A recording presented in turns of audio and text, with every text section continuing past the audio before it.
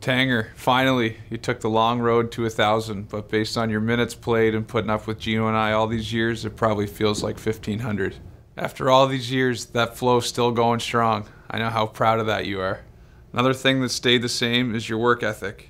You still have that same hunger and dedication to be your best every day.